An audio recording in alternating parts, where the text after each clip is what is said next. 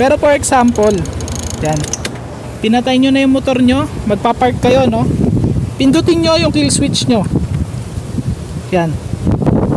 Ngayon, pagka may nag-attempt magnakaw ng motor nyo, ah, kahit na anong way man yan, no? Ah, pinilit niyang ikutin or winiring niya yung motor nyo, binaklas yung harapan ng motor, tapos winiring para magkaroon ng power, para mapaandar.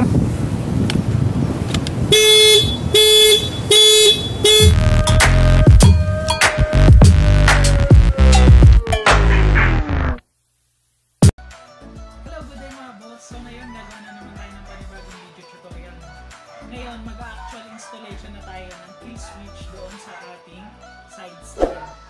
Kung hindi pa pala napanood yung previous video ko, no? ah, yung gumawa tayo ng diagram, mas maganda panoorin yung mga yun. Kasi may hihirapan tayo maintindihan itong installation na gagawin natin. Kasi gagamit tayo dito ng isang halo switch, dalawang relay, isang flasher relay. So, maraming wire yan. No? Doon pa lang sa halo switch, limang wire na yon. Doon sa flasher relay, dalawang wire.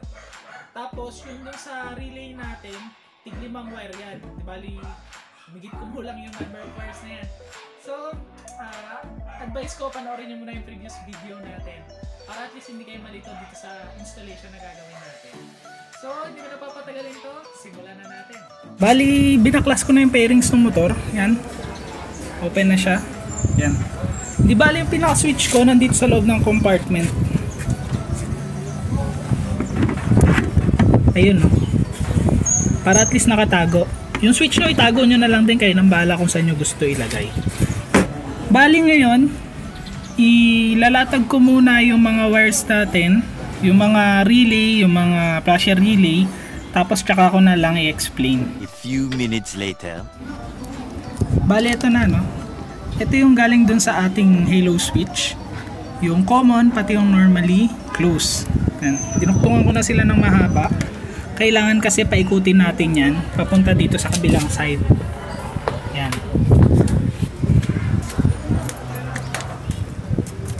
Ito kasi, oh. Dito tayo mag-install ng kill switch. Dito sa may blue socket.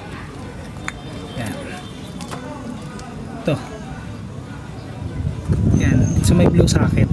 So, kailangan nyo paikutin yung wire nyo, padaanin nyo dyan, papunta dito. So, papagapangin ko muna yung wire, no? Papakita ko na lang sa inyo after ko pagapangin. A few minutes later. Bale, ito na, no? Yung common, pati yung normally close. Di bali, pinasok ko na sila dito sa wire tubing. Yan, papasok dito sa loob, tagos yan sa may kabila. Yan. So, dito muna sila. Abang muna. Abang pinapinalize ko yung wiring. Bali, ang gagawin naman natin ngayon, yung dalawang relay, tsaka isang flasher relay, ah, hanapan ko ng pwesto dito. Para at least, puro pagapang na lang ng wire yung gagawin natin mamaya, tsaka wire connection. Di bali, ito yung normally open na wire. Ito yung kukonekta natin do sa mga relay natin. So kung yung normal na relay yung ginagamit nyo, okay lang naman yon yung mga malalaki. Electronic relay kasi yung ginawa ko, so maliliit yon. Ganito yung itsura. Yan. Bali dalawang relay na agad to, ganito lang kaliit. So mas mabilis ko siyang mapupwesto. Ang problema lang, yung wire ko kasi, dadalawang kulay lang, blue at saka black. So nag-label na lang ako kung saan ko sila i-connecta. Yan. So, ah, ayusin ko muna no. Ah, hanapan ko sila ng mga paglalagyan pati yung flasher relay natin. A few minutes later. Bali dito ko na lang ilalagay yung flasher relay natin pati itong relay natin na dalawa. Pag ganyan sila. Yan. Pero need muna natin kumuha ng power source no mula sa ignition or do sa mga power lines na nagawa nyo na. So ito, meron akong power lines dito, dito sa may relay. Terminal 87 yung need kong pagtapan. Di bale, ito siya. Yan, nakapagtap na ako ng blue wire. So papagapangin ko naman to pabalik, papunta dito sa mga relay natin. Yan. Di bale, ito, terminal 87 nung relay natin, power lines natin. So, kung meron kayong question regarding do sa may power lines, panoorin nyo na lang yung video ko, meron akong video niyan. So, para mas maintindihan nyo kung paano nagwo-work yung power lines at saka kung gaano karami yung pwede nyong itap dun sa power lines nyo. So, ito, papabalikin ko na muna Tapos, i-zip tie ko na yung mga relay natin dito. A few minutes later. Ito na, no? Ah, na-wiringan na natin. Dito natin ilagay yung relay natin. Etong malaki, flasher relay to. Etong maliit, 5-pin relay yan. Pero ito, dalawang piraso na to, no? Dun sa mga hindi pa nakapanood ng video ko, ah, regarding do sa diagram nito, explain ko na lang briefly. Di ba itong relay na to, dalawa to, isa para sa busina, isa para sa taillight. Di bali, yung terminal 86 nila, dito natin ko-connect yun sa may flasher relay natin, dun sa letter ah, L. Di bali, ang terminal 86 nila ay ito. Di bali, dalawa yun, no? dalawang relay natin, terminal 86 nila parehas, dito sa flasher relay natin ko-connecta sa may letter L or dun sa may load. Tapos, yung positive wire na kinuha natin dito sa ating power line, pinagapang ko na siya. Ito na siya, no? Kukonekta naman natin siya dito sa may letter B na itong flasher relay natin. Yan. Di bali, okay na yung connection netong flasher relay natin. Dito sa may relay natin na electronic, dalawa to, meron pa mga natirang wire. Yung terminal 30 nung relay para sa may busina, eto yon lalagay natin dito sa may body ground. Dito yan. Dito na lang sa may tornilyo. Ito naman yung terminal 85 nung dalawang relay din natin. Kokonekta natin to dun sa may normally open ng halo switch. Ito naman yon no? Yan. Dito natin yan i-connect.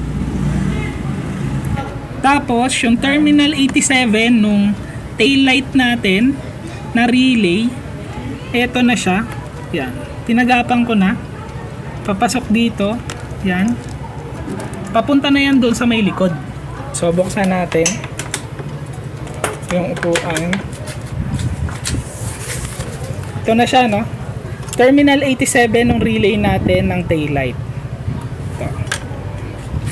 Di ba ito, i-connecta natin yan yung sa wiring harness dito para mag-hazard yan. Tapos, ito naman terminal 87 nung horn relay natin na nandito. Ito yon Papaikutin natin. Papalabasin din natin dito sa may kabila. Yan. Di bali tatlong wire na yung mapupunta dyan. A few minutes later.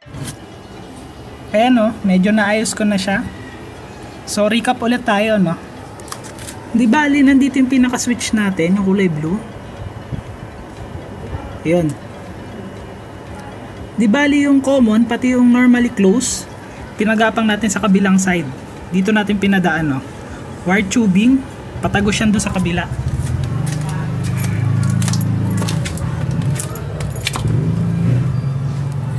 Ito sila. Yan, no? Ito. Yan. Papunta dito.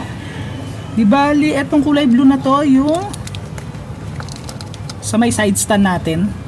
Bali mamaya, ah, bubuksan ko yan. Ito yung flasher relay natin. Tapos, ito yung dalawang relay natin. Isa para sa hazard light natin, yung isa para sa busina, para tumunog. Kailangan natin kumuha muna ng power lines or ng positive supply. So, before, gumawa na kasi ako ng power lines dito. So, ang ginawa ko na lang, nag-top na lang ako. Kasi kaya pa naman. Pinagapan ko ngayon pababa. Yan, dito. So, yung power lines natin, nilagay ko dito sa may letter B ng ating flasher relay. Tapos, eto, dalawang relay kasi to. Ang ginawa ko ngayon, yung terminal 86 nung dalawang relay, yung isa para sa busina, isa para dun sa hazard light natin. Terminal 86 nila, tinap ko dito sa may letter L. Yan. Netong flasher relay natin. Tapos, yung terminal 30 nung ating hazard light, nakatap din dito yan sa terminal ng ating flasher relay, yung sa letter L.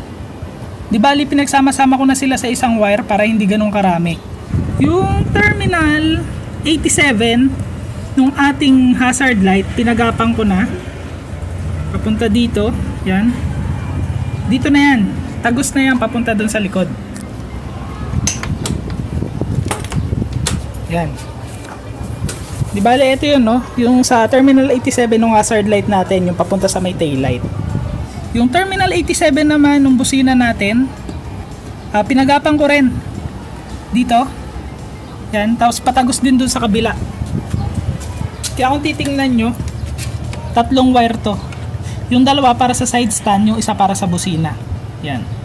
Tatap natin yan doon sa negative terminal netong busina para bubusina siya.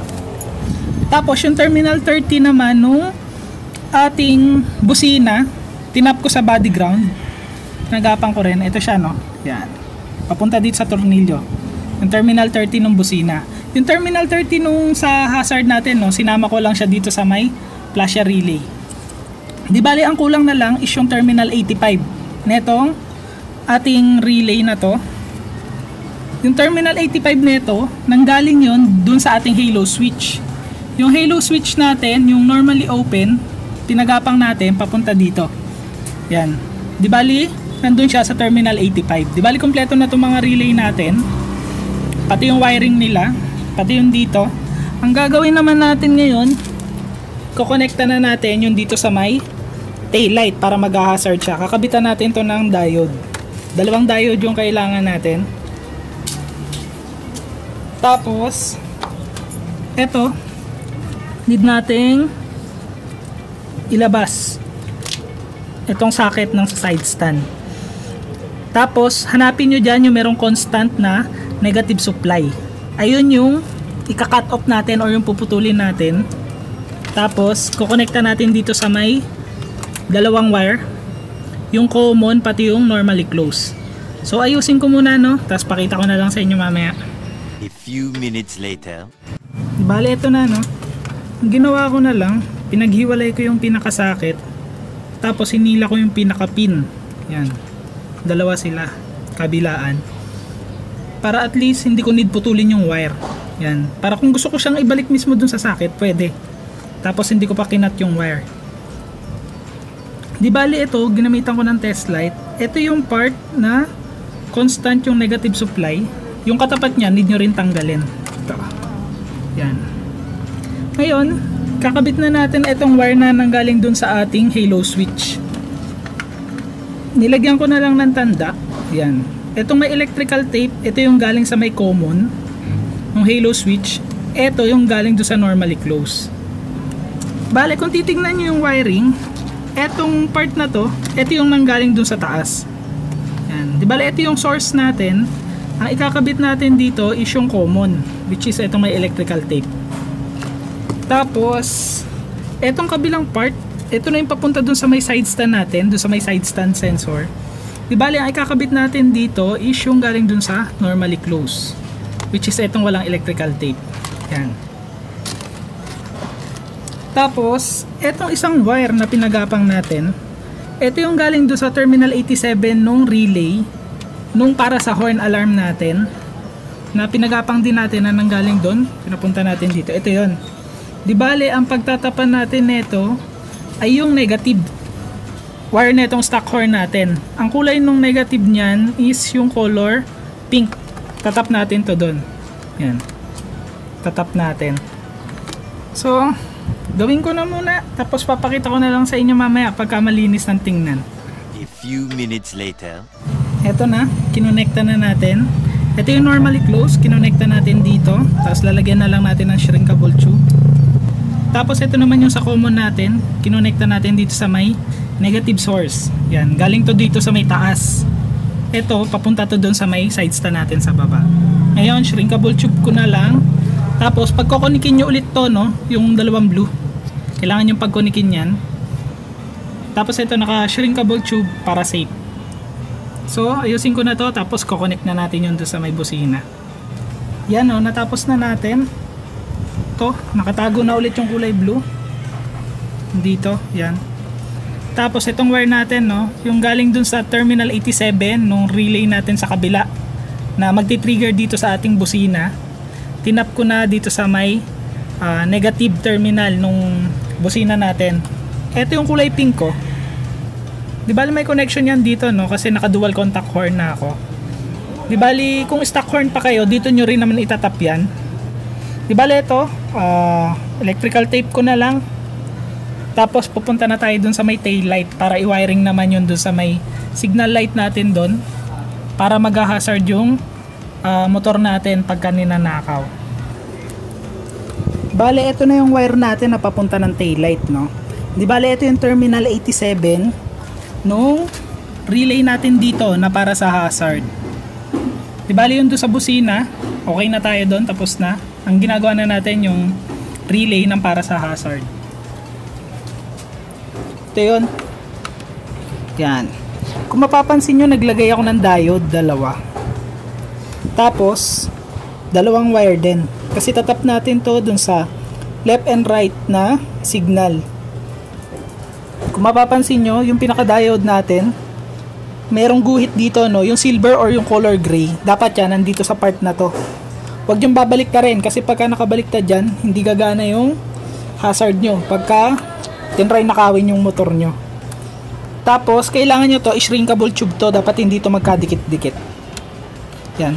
Hindi ko pa lang shrinkable tube kasi gusto kong makita nyo kung anong itsura niya. Kayo, kung gusto nyo pag ah, pantayin yung dalawang diode, okay lang naman. Hindi ko na lang siya pinagpantay kasi kapag ka pinagpantay ko yan, lalapad. Kaya ang ginawa ko, hindi ko sila pinagpantay para pwede ko silang iganyan. Pero dapat to naka-shrinkable tube. So, ah, finalize ko na to. Tapos magtatap na tayo dito mamaya. A few minutes later. Bale, ito na. Yan, nagawa ko na. Di bali, isang wire lang siya. Naging dalawa. Ginamitan natin ng diode. Tapos, dito tayo magtatap. Yan. Ang pagtatapan natin dito is yung green at saka yung color brown. Yung black hindi yon kasi ground yan nung signal light natin. So, hindi yan kasama. Di bali yung green and brown. Ito yung itatap natin. Tig-isa sila. So, kahit na alin dyan yung itap nyo, kahit na magkabaliktaran yan, okay lang. Bale, ito na yung nagawa natin, no. Binalutan ko ng shrinkable tube, kaya maganda yan. Tapos ngayon, babalik na lang natin siya dun sa pinagtanggalan niya. Ngayon, testing time na tayo, no.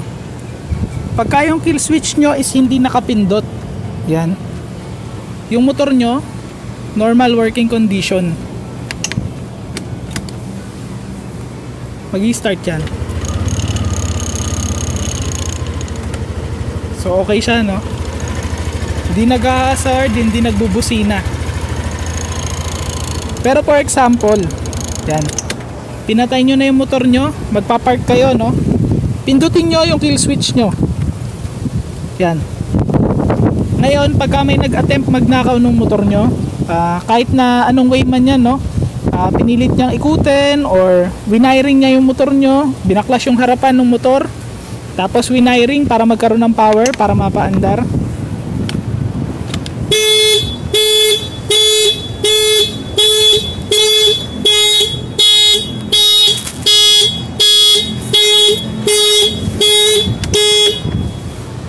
Ayun no, nag-hazard pa siya tapos tumutunog yung bosina.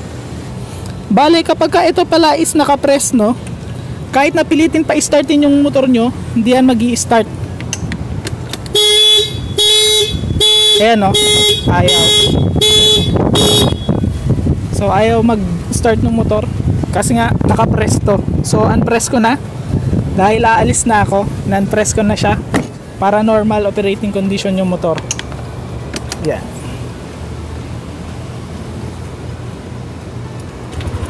Yun. So tapusin ko na tong video na to. Ah, as always, family yung finish line. Ride safe.